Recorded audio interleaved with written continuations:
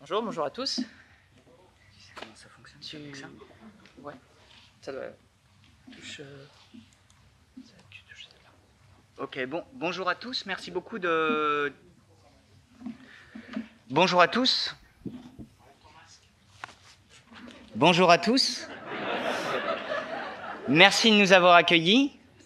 Euh, nous allons vous présenter le résultat d'un travail conjoint porté par les deux conservatoires euh, d'Occitanie, le conservatoire Pyrénées-Midi-Pyrénées et le conservatoire euh, méditerranéen de Porquerolles.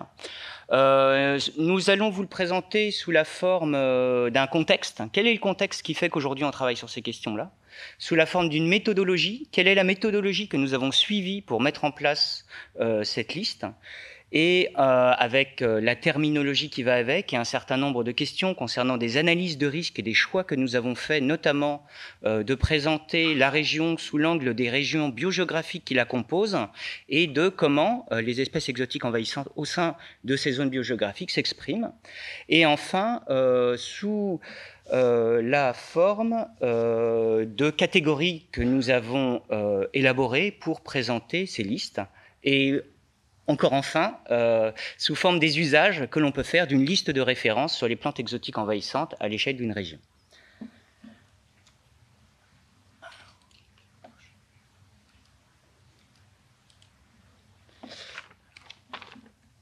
Ok, merci. Merci. Donc le, le, ce, ce- ce- ces graphiques, euh, finalement, pour présenter euh, la, la- la question euh, des invasions biologiques euh, sous l'angle d'un nombre d'espèces euh, qui progressent avec le temps et qui progressent également dans l'espace, avec notamment un indicateur qui a été fait par l'Observatoire national de la biodiversité euh, et qui aboutit à de l'ordre de six nouvelles espèces exotiques envahissantes par département tous les dix ans. Euh, ce constat, c'est également un constat en termes de coûts. hein. on est de l'ordre de euh, les- les- une publication récente a abouti à 1300 milliards de dollars euh, dans le monde de coûts cumulés pour ces espèces. C'est également un constat lié à un travail euh, qui s'appelle DAISY, qui avait été mené, euh, qui a abouti en 2009 sur la sur l'Europe, concernant le nombre d'espèces qui avaient été introduites en Europe. On est arrivé à un chiffre de 12 000 espèces introduites. Et puis enfin, euh, tout ça a conduit l'Europe, à, euh, le Parlement européen en particulier, à créer un règlement européen relatif aux espèces exotiques envahissantes, avec euh, un certain nombre d'orientations qui ont été reprises dans une stratégie nationale relative aux espèces exotiques envahissantes qui a vu le jour en 2017 et qui en reprend des grands axes clés, notamment des questions sur la prévention, comment prévenir l'arrivée de ces espèces, des questions relatives à leur gestion et également à la restauration, la résilience des écosystèmes, et puis un certain nombre euh, d'actions, de connaissances nécessaires pour mieux comprendre ce qui se passe, mieux comprendre l'écologie de ces espèces, et enfin euh, des actions de sensibilisation, formation, gouvernance. Alors des outils particuliers ont aussi émergé en lien avec cette stratégie. En particulier, il existe dorénavant un centre de ressources sur la gestion de ce type d'espèces, avec beaucoup de retours d'expérience des acteurs, euh, qui est porté par l'IUCN France pour le compte de l'OFB. Et puis également euh, des dynamiques de réseau d'acteurs euh, liées à la surveillance auxquelles contribuent beaucoup les CBN. Alors, à l'échelle euh, régionale, euh, les financements euh, que nous avons eus pour travailler, c'est à la fois l'Europe, l'État, la région Occitanie et l'Agence de l'eau à Dour-Garonne. Alors, les objectifs euh, des futures stratégies Occitanie euh, sur les espèces exotiques envahissantes euh, sont des objectifs communs avec la stratégie nationale, donc amélioration des connaissances notamment, prévention, gestion et autres, avec des actions qui vont être plus spécifiques au niveau régional. hein. Quelle est la liste de référence des, au niveau de la flore et au niveau de la faune concernant ces espèces, avec un certain nombre de priorités qui peuvent être régionales en fonction des types de milieux sur lesquels il y a des enjeux forts en termes de préservation, par exemple, et puis euh, un certain nombre d'actions d'animation ou de mutualisation euh, de choses à faire entre les acteurs sur cette thématique-là. Alors, par exemple, nous avons commencé à mettre en place une lettre d'information sur les espèces exotiques envahissantes à l'échelle Occitanie, euh, qui porte de fait à la fois sur la faune et sur la flore. Alors, au niveau des référents faune, c'est le CEL Occitanie qui a pris la main pour élaborer cette, euh, cette nouvelle stratégie. Hein. Et au niveau, euh, au niveau de la flore, ce sont donc les CBN qui ont repris ce, cette animation-là, avec donc deux, deux, CBN dont vous voyez les, les, territoires, avec en jaune le territoire d'agrément du CBN Méditerranée Porquerolles, et puis en, en violet le, le, le territoire d'agrément du CBN Pyrénées-Midi-Pyrénées, et les deux recoupant la région Occitanie. Alors, rentrons dans, le, dans, les éléments de définition. Donc, nous avons eu à travailler sur euh, ben, euh, qu'est-ce qu'on doit avoir et acquérir comme information pour pouvoir travailler sur cette thématique et pour pouvoir derrière mener en place, enfin mettre en place des analyses de risque. D'abord, il faut savoir si les espèces sont présentes euh, sur le territoire. Ensuite, euh, il va falloir euh, évaluer euh, quelle est l'ère d'indigénat des taxons dont on parle. Est-ce qu'ils recoupent ou, ou pas la région Occitanie hein? Est-ce qu'on est en face d'espèces indigènes ou d'espèces exogènes? Et puis ensuite, un certain nombre d'éléments concernant leur date d'introduction depuis quand ces espèces sont présentes en Europe, en France ou sur le territoire? Et puis enfin, des éléments concernant leur autonomie. Hein. Est-ce que ce sont des espèces qui ont la capacité à se reproduire de manière spontanée ou pas, et leur population est-elle pérenne? Et puis ensuite, un certain nombre d'éléments concernant leur écologie et leur trait de vie qui vont nous permettre de mieux quantifier euh, le potentiel d'impact qu'elles peuvent avoir sur des milieux avérés ou supposés. Alors, deux exemples. Juglans regia, euh, une espèce donc présente euh, en Occitanie, considérée comme archéophyte, c'est-à-dire introduite après une date de référence, enfin avant une date de référence que l'on a pris 1492. Et puis Carpobrotus, euh, une espèce bien sûr présente, néophyte, introduite après 1492, et considérée comme naturalisée, c'est-à-dire capable de se reproduire, faire des populations pérennes alors, nous avons repris en termes de définition, euh, l'idée c'est euh, de ne pas réinventer l'eau chaude. On s'appuie sur un maximum de définitions euh, collectives. Donc, on est reparti de la stratégie nationale espèces exotiques envahissantes, qui dit en gros, on s'occupe des espèces qui sont une menace pour les écosystèmes, les habitats et les espèces indigènes, avec des conséquences écologiques, économiques, sanitaires négatives. Donc euh, trois, petits exemples euh, d'espèces, euh, les Jussies sur la Dour, un contexte d'envahissement de, de officinalis sur des prairies temporaires, et puis Ambrosière temisifolia, dont on a déjà parlé au cours de la journée d'hier. Alors, euh, voici les les zones biogéographiques que nous avons retenues pour, euh, pour travailler. Donc, euh, quatre zones biogéographiques. La partie méditerranéenne, caractérisée donc par un climat spécifique. deux zones de montagne, Massif central et Pyrénées, avec des logiques à la fois d'axes et de voies d'introduction différentes que dans le reste des, des autres zones biogéographiques en plus de contexte climatique et pédologique, et puis également une dernière zone qui est euh, la, partie sud-ouest. Et donc pour chacune de ces zones, nous avons mené des analyses de risque spécifiques espèce par espèce. Alors effectivement, donc, quel a été le, programme de travail? Donc la première étape, ça a été de construire euh, donc, un catalogue de la flore exogène d'Occitanie. Donc comment on a procédé? D'abord, il a fallu mutualiser donc, les données d'occurrence euh, donc, des taxons que l'on considérait exogènes sur nos territoires d'agrément. Et donc, euh, pour faire ça, en fait, on a synthétisé tout ça dans un catalogue. Donc, un catalogue, c'est une synthèse de données d'occurrence sur un territoire donné. Et donc, on a synthétisé euh, l'ensemble des données d'occurrence euh, pour la région Occitanie. Et pour faire cela, en fait, il a fallu donc faire plusieurs étapes. Hein. Déjà, enlever donc les taxons qui nous paraissaient douteux, supprimer les taxons qui étaient anciens, et ensuite faire des rattachements taxonomiques. Donc euh, pourquoi? Parce que pour une même plante qui a été observée, eh ben souvent euh, d'un côté, euh, d'un côté et de l'autre, ça n'a pas été ben, identifié de la même façon. Par exemple, bon pour, pour les, une, des jussies, pardon, euh, Ludigia grandiflora a été euh, identifié au rang euh, spécifique d'un côté et au rang subspécifique de l'autre avec Ludigia grandiflora hexapetala.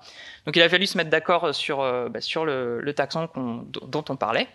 Et il y a aussi des, taxons qui, justement, avaient des noms différents. Donc, Phallopia oberti d'un côté, Phallopia botswanica de l'autre. Il a fallu se mettre en cohérence. Donc, une fois qu'on a créé ce, catalogue, euh, il a fallu euh, justement savoir quelles espèces de ce catalogue allaient être soumises à analyse de risque. Donc euh, le, la première partie, la partie de pour vous gauche, euh, c'est le catalogue. En fait, c'est les espèces où on a une donnée d'occurrence euh, sur le territoire. Donc, on a réussi à, à, mutualiser 1558 taxons, qui, dont il y a une, une, une donnée de présence. Après, on a travaillé sur les statuts d'indigénat. Donc, euh, l'objectif, c'était que d'un côté et de l'autre, il y a des, des, fois des statuts d'indigénat différents. Est-ce qu'on arrive à un statut qui soit cohérent à l'échelle Occitanie? Par exemple, pour, euh, pour le statut d'indigénat, donc une espèce indigène, on a pris une règle simple, c'est qu'une espèce qui est indigène sur une portion de territoire, elle est indigène sur l'ensemble du territoire. Et donc toutes, euh, toutes les, tous les taxons qui étaient finalement définis comme indigènes, on les a écartés, de même que les taxons cryptogènes ou archéophytes. Une fois qu'on a été d'accord là-dessus, il a fallu travailler sur les, euh, statuts de, naturalisation, hein, sur le degré de naturalisation. Et donc on a pris en compte que les, taxons qui étaient autonomes. Donc on a enlevé les, les plantés. Et de l'autre côté, en fait, on a pris aussi donc 19 taxons qui étaient absents de la région, c'est-à-dire qu'ils n'avaient aucune donnée d'occurrence pour l'instant connue en région Occitanie, mais dont on, suppose qu'ils peuvent venir euh, euh en région par prolifération, hein, par propagation, euh, parce qu'ils sont dans des territoires, dans des zones biogéographiques similaires ou limitrophes, et aussi des taxons réglementés. Alors, donc, on a eu beaucoup de, travail bibliographique pour faire cela, et beaucoup d'expertise de, de botanistes. Et donc l'étape suivante, c'est l'analyse de risque. Et donc euh, on est arrivé à 902 taxons qu'on a créés dans, une liste de travail et qui a été soumise à analyse de risque. Alors les analyses de risque, il y en a eu trois, trois principales qu'on a, qu'on a étudiées. Donc la première, c'est la cotation de la vergne. Donc c'est une cotation de 1 à 5 permettant d'étudier le caractère envahissant avéré d'un taxon sur un territoire. La deuxième, euh, la deuxième euh, analyse de risque, c'est l'analyse de risque de Weber-Ingut, hein, donc c'est une publication euh, donc de deux scientifiques qui permettent justement d'étudier le risque de prolifération d'un taxon euh, dans, dans, un territoire donné. Et la troisième, c'est une analyse européenne qui permet d'évaluer les impacts environnementaux, socio-économiques et sanitaires. Euh, à cela ont été rajoutés euh, deux, deux, coefficients, donc le coefficient de distribution spatiale qui est une analyse de la répartition faite par SIG et un coefficient de recouvrement qui a été donné par les botanistes. Et là, bien sûr, il y a des échanges avec les, botanistes pour, euh, pour ajuster les scores. Alors, ça paraît un peu flou, justement, on va, on va donner des exemples. Si on prend l'exemple d'Amorpha fruticosa, donc le faux indigo, une fabacée d'Amérique du Nord, euh, on peut voir que pour la cotation de la verne, donc elle a un comportement, l'objectif c'est d'étudier le comportement envahissant du taxon. Euh, donc on étudie différents éléments, donc euh, la taille des peuplements, euh, la, la, la, répartition, les milieux colonisés, la dominance, etc. Et donc euh, on voit que donc ce taxon, Amorpha fruticosa, c'est une espèce qui a des données d'occurrence, donc elle est considérée pour nous comme présente en région Occitanie, et elle est néophyte, donc elle a été introduite après 1492, donc pour l'ornement, etc. Et elle est naturalisée, donc elle euh, on peut justement faire la cotation de la Verne. Alors comme on peut voir en région méditerranéenne, elle est cotée 5, euh, en fortement envahissant parce qu'elle a des peuplements denses, et euh, notamment si vous vous promenez vers, les, vers la ripisylve gardoise, vous pouvez bien sûr le voir. Et en cotation Pyrénées, par contre, vu qu'elle est absente des Pyrénées pour l'instant, on n'a aucune donnée d'occurrence, elle est cotée 2+, c'est-à-dire euh, ben, reconnue comme envahissant dans des territoires proches. Et elle a été cotée euh, en Massif central et sud-ouest comme envahissant émergent. Alors ça, c'est la première analyse. Passons à la deuxième. La deuxième, c'est Weber-Ingut, comme je vous disais. Euh, ça permet d'étudier le risque de prolifération d'un taxon sur le territoire. Donc les paramètres étudiés, ben, c'est la biologie du taxon, sa capacité de, de dispersion, sa reproduction, et euh, son écologie, effectivement. Euh, donc, en, comme on a pu voir, c'est un taxon qui a des données d'occurrence, euh, qui est néophyte, naturalisé, et qui a un score de la Verne supérieur à 2, donc elle passe dans, la, dans, le filtre pour aller sur l'analyse de Weber-Gut. Et les résultats montrent qu'il y a différents scores. Hein. Donc l'analyse de Weber-Gut, c'est une méthode de scoring qui associe un risque justement de prolifération. Et donc il y a différents scores en fonction des, des, cotations, mais qui donnent le même risque. En fait, il y a un risque élevé de prolifération de cette espèce. Pourquoi? Parce qu'elle se disperse par voie végétative, mais par graines aussi. Elle est considérée comme une euh, mauvaise herbe, enfin une espèce exotique dans d'autres pays, etc. Donc une fois qu'on a fait cela, ça nous donne d'autres informations et on passe à la dernière analyse, l'analyse EPPO. Et donc euh, qui permet de savoir en fait quels sont les impacts euh, environnementaux, socio-économiques et sanitaires de l'espèce. Alors, on étudie les impacts locaux, donc connus, mais aussi les publications euh, nationales, internationales, etc. Euh, pour les filtres, donc on, revient, c'est toujours la même. Hein, donc, euh, pardon. C'est une espèce qui est présente, néophyte, euh, qui a un score de la Verne supérieur à 2 et un score de Weber-Gut supérieur à 21. C'est-à-dire qu'on peut la prendre en compte dans l'analyse la, de PPO. Et là, en fait, on étudie les impacts. Donc, pour les impacts écologiques, on peut voir qu'ils sont forts. Hein, L'amorpha fructicosa altère la structure de la végétation. Effectivement, elle favorise les espèces rudérales nitrophiles, elle est fixatrice d'azote, etc. Elle concurrence les espèces indigènes, c'est surtout problématique dans, des, milieux caractéristiques hein, de dunes, de ripisciles, etc., etc.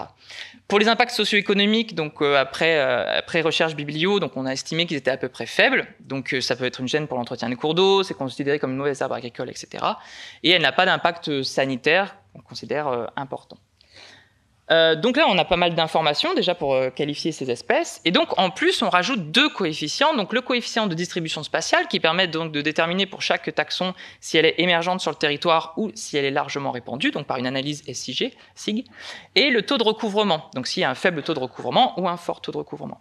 Pour la morpha, par exemple, donc on voit qu'elle colonise 8,2% du territoire de la zone méditerranéenne et qu'elle n'est pas présente en, en Pyrénées, elle a 0% de colonisation du territoire. Et les cotations donc justement du recouvrement, elle a un fort taux de recouvrement en zone méditerranéenne et en massif central est considérée comme moyen. Donc en fait, toutes ces, maintenant, toutes ces informations, à quoi elles servent Elles vont servir justement à catégoriser les espèces. Pourquoi euh, faire des catégories? C'est euh, justement pour donner un état de la situation euh, en région de l'état de l'envahissement de ces espèces. Alors il y a cinq catégories, euh, qui ont été euh, identifiées, donc trois catégories d'espèces euh, exotiques envahissantes et deux catégories d'espèces potentiellement envahissantes. Alors pour la première, c'est majeur. Donc la définition qui a été retenue, c'est des espèces qui sont largement répandues en région et justement qui ont un fort taux de recouvrement. Et donc si les impacts sont densité dépendants, ils ont des forts impacts aussi. À l'inverse, les espèces émergentes sont des espèces qui sont peu fréquentes sur le territoire, mais qui ont régulièrement un fort taux de recouvrement, et là aussi avec des impacts importants. Les modérées, donc, ce sont celles qui sont assez largement euh, répandues, mais occasionnellement, qui ont un fort taux de recouvrement. Et, euh, ensuite, celles qui sont potentiellement envahissantes, donc on a les, absentes, hein, celles qui ne sont pas là mais qui peuvent arriver, et donc qui sont en catégorie prévention, et enfin, les alertes, c'est celles qui sont justement peu fréquentes sur le territoire et qui sont soit toujours avec un faible taux de recouvrement, soit généralement avec un faible taux de recouvrement, mais sur certaines stations, on voit, une dynamique importante. Bref, pourquoi on fait ça? C'est parce que justement, on permet de catégoriser les, euh, euh, on, permet de faire des catégories par zone biogéographique. Et après, le travail a été de le faire euh, à l'échelle régionale, administrative. Donc, par exemple, pour la gave americana, elle est considérée majeure sur le littoral. Forcément, c'est une, espèce côtière. Et donc, à l'échelle Occitanie, elle est majeure. Inversement, pour la balsamine de l'Himalaya. Donc là, voilà, pour la méthodologie. Maintenant, je vais laisser la, la parole pour les résultats. Alors, plusieurs résultats ont été obtenus déjà. On dispose d'analyses de risque sur un grand jeu d'espèces, ce qui nous permet de faire ensuite des comparaisons avec d'autres CBN notamment qui utilisent les mêmes méthodes. Concernant l'Occitanie, on aboutit à 306 taxons euh, considérés euh, dans cette liste de référence, avec, euh, pour ce qui ressort de marquant, 29 espèces qui sont considérées comme majeures, c'est-à-dire fort impact, largement répandu, avec ici deux exemples, hein, les renouées par exemple, ou Cortaderia soleana, et puis des espèces qui sont potentielles, euh, et qui sont finalement dominantes dans cette liste avec 181 espèces d'espèces exotiques envahissantes potentielles, avec en particulier beaucoup d'espèces classées en alerte, 163, qui sont finalement des espèces qui ont, sur lesquelles on se pose des questions par rapport à l'avenir et à leur dynamique. Alors, trois, trois exemples d'espèces émergentes. Euh, donc, par exemple, Myriophyllum aquaticum, Ambrosia euh, trifila en milieu agricole, donc euh, euh Myriophyllum aquaticum en milieu aquatique, Spiraea japonica en piémont pyrénéen notamment. donc là, on est sur des espèces qui sont pour l'instant peu répandues, mais qui ont des forts impacts euh, d'un point de vue euh, euh, par rapport à, un certain type de milieu qu'ils colonisent. Donc ce sont, disons, les espèces sur lesquelles il y a une priorité à agir en termes de réflexion qu'il y aurait à avoir, et on verra comment ça va se mettre en place au niveau de la stratégie deux autres exemples de catégories. Les catégories alertes avec Polonia tomentosa, donc un arbre, qui connaît une dynamique, mais on ne sait pas jusqu'où elle va. Et puis euh, Solanum carolinense, dont on a parlé hier, notamment en Tarn-et-Garonne, avec euh, quelques stations qui sont présentes en région Midi-Pyrénées, sur lesquelles on se pose des questions, et donc elle a été classée en alerte dans la, parmi les potentiels. Et puis donc euh, les espèces absentes réglementées figurent aussi dans la liste, de telle sorte que voilà cette liste puisse avoir son rôle réglementaire également. Donc maintenant on, pardon, maintenant, on va voir à quoi servent ces listes. Donc l'objectif, c'est que ça peut servir à un maximum d'acteurs au niveau régional. Donc là, si on prend euh, l'exemple des gestionnaires d'espace, l'objectif pour, euh, pour eux, donc, euh, c'est de décliner ces, ces listes d'espèces à fonction des espèces qui sont sur le territoire, des taxons qui sont sur le territoire. Et donc, donc nous, on produit des, listes de connaissances, et l'objectif, c'est de partager cette connaissance pour permettre une meilleure compréhension des enjeux etc. Et donc ça peut se retrouver donc dans l'état des lieux, dans le diagnostic, mais surtout dans le plan de gestion opérationnelle pour faire des excusez-moi, pour faire des, hiérarchisations des priorités. Donc par exemple pour les majeurs, donc euh, le gestionnaire pourra, euh, pourra essayer d'agir sur les fronts de colonisation ou dans les zones à enjeu. Pour les espèces émergentes, si, si un gestionnaire euh, agit sur la population émergente, cela, pourra avoir un effet à une échelle plus globale. Les modérés sont moins prioritaires. L'alerte, c'est intéressant pour faire de la veille. Et les préventions, c'est pour la détection précoce et agir rapidement avant que le taxon s'installe euh, sur le territoire. Donc, euh, donc euh, il y a plein de, il y a plein d'outils qu'on met en, place pour pour ces acteurs. Il y a aussi, il y a aussi d'autres acteurs qu'on vise. Hein. Ce sont par exemple les prescripteurs, les producteurs. Donc l'objectif de faire des listes de connaissances, c'est d'éviter leur utilisation. Donc l'objectif, c'est que qu'il y ait une utilisation d'espèces non envahissantes, c'est-à-dire non listées dans, dans, nos, dans nos listes de connaissances. Donc, euh, en renonçant à la commercialisation, etc. Donc, comment faire Donc, soit en participant au développement de nouvelles filières. Et donc, l'objectif, c'est qu'on puisse créer des groupes de travail avec différentes euh, filières pour travailler ensemble sur euh, sur des consensus par rapport à ces taxons. Il y a des codes de conduite d'ailleurs qui existent euh, actuellement. Et enfin, ce qui est intéressant, c'est euh, de faire ces listes comme ça. C'est aussi, euh, donc pour les, les botanistes, c'est de mettre en lumière certains taxons et euh, je ne veux pas euh, plagier Yorick, mais aussi pour, euh, pour les genres difficiles, parce qu'on euh, a aussi Phiostakis ou Puntia, on a pas mal de, de genres difficiles. Et donc, ça permet d'améliorer la connaissance aussi sur ces taxons en se basant sur des flores étrangères, par exemple. Euh, et aussi pour le grand public, c'est de bien comprendre les enjeux. Donc euh, pour cela, on, a des, outils de communication comme de, des brochures qui expliquent euh, bah, les, espèces. On a un site internet, plusieurs sites internet, mais notamment InvMed. Et donc ça, permet de, bien comprendre quels sont les enjeux liés à ces espèces et de communiquer au maximum sur ces listes.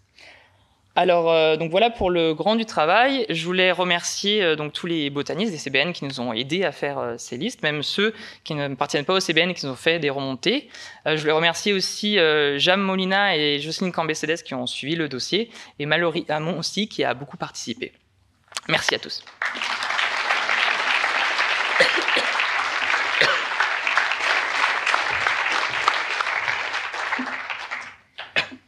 Merci messieurs. Profite avant de passer aux questions euh, de dire que comme vous l'avez remarqué, les CBN ont été euh, très présents lors de ces deuxièmes convergences botaniques à travers de nombreuses interventions, ceux de la région bien sûr, mais également d'autres régions comme on l'a vu avec le CBN du Muséum d'histoire naturelle de Paris ou tout à l'heure euh, le CBN de Franche-Comté. C'est je pense pour nous très important euh, d'être euh, des partenaires actifs et en lien permanent avec, avec ces structures. Voilà, est-ce que vous avez des questions à poser Là-bas, Monsieur Jardy?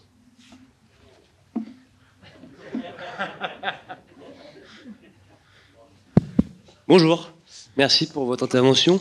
Euh, une petite question par rapport à la date de 1492. Pourquoi?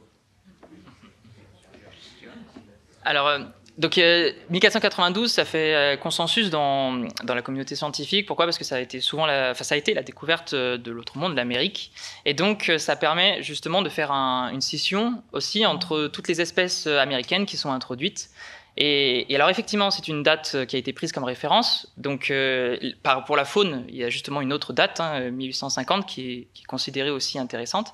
Mais voilà, pour les taxons floristiques, 1492, c'est par rapport à la découverte de, de l'Amérique. Et donc c'est intéressant de faire la scission entre, entre les espèces qui ont été introduites avant, considérées archéophytes, et celles qui ont été introduites après, néophytes.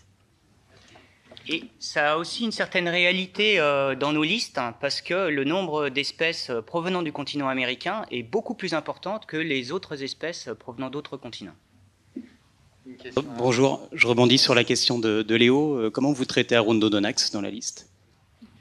Alors, pour nous, Arundodonax est considérée comme une archéophyte, je ne sais pas qui a posé la question, et donc elle n'est pas traitée, voilà, merci. Elle n'est pas traitée comme une espèce exotique envahissante dans le cadre de, de ce travail, hein, de liste de connaissances. Et donc, alors, ça n'empêche pas qu'elle peut avoir un caractère envahissant local. Hein. On, est bien c'est bien différent le, statut d'indigénat et le caractère envahissant. Hein. c'est ce qu'on a essayé de démontrer aussi. Mais effectivement, pour nous, elle n'est pas considérée comme une espèce exotique envahissante, du fait de son introduction ancienne. Après, ça pose aussi une vraie question, c'est-à-dire est-ce que les archéophytes euh, doivent donner lieu à des analyses de risque pour savoir euh, si effectivement ils sont toujours actifs ou pas? Donc euh, ça fait partie des débats toujours en cours, en tout cas, sur ces questions de liste de référence de plantes exotiques envahissantes. Prend-on ou pas en compte les archéophytes? Jérémy, question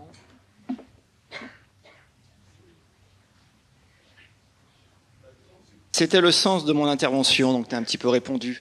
Voilà, c'était de savoir effectivement si vous alliez prendre en considération un petit peu, ou si ça valait la peine d'étudier le cas des archéophytes, parce qu'effectivement, on sait que la situation parfois est assez complexe.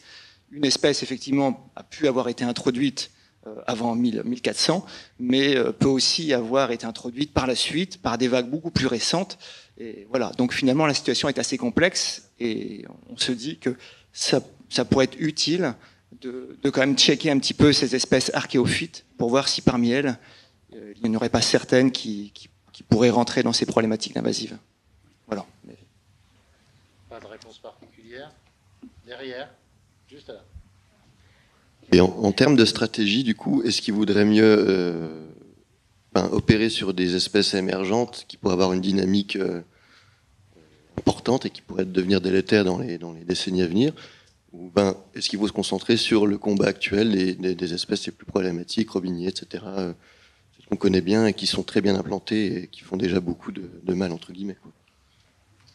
C'est une question qui est, difficile parce que ça dépend beaucoup du, du contexte, hein, des contextes.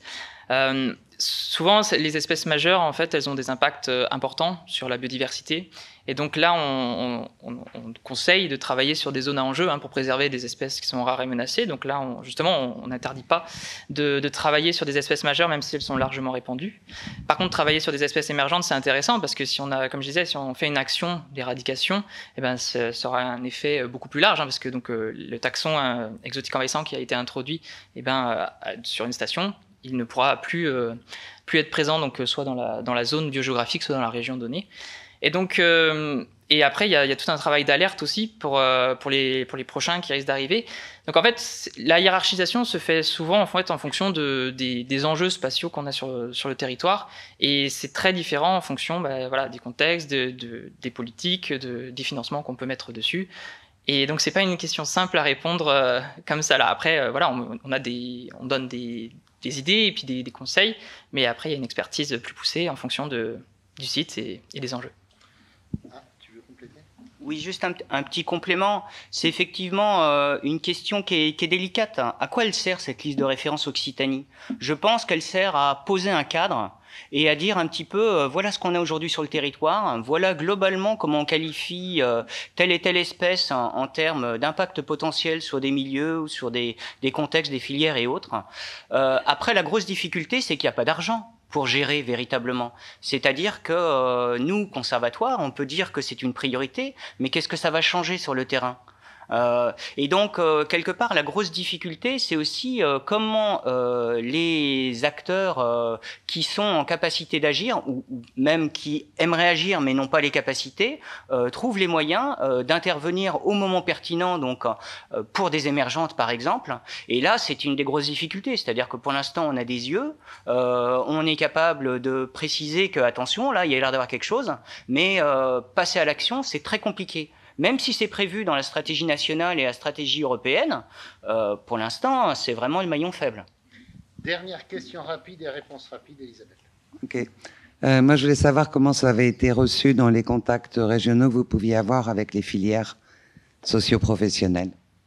Alors justement, on a un gros travail à faire avec euh, les filières euh, et les filières, et justement, c'est la suite euh, de la, stratégie. On a prévu des groupes de travail avec les différentes interprofessions, hein, que ce soit de l'horticulture, de la sylviculture, du monde agricole, etc. Et donc, l'objectif, donc nous, on présente une liste de connaissances, et après, c'est de travailler avec les différentes filières qui ont, trouvent un intérêt forcément à, à ces espèces pour savoir, en fait, lorsqu'elles se retrouvent en milieu naturel et qu'elles peuvent poser problème, comment faire ensemble, euh, en, sorte pardon, pour trouver un consensus d'action. Donc tout ce travail, c'est lors de la stratégie et, de l'élaboration du plan d'action qu'on va le faire. Et donc c'est notre travail de, cette année et jusqu'en 2022. Alors merci beaucoup, messieurs.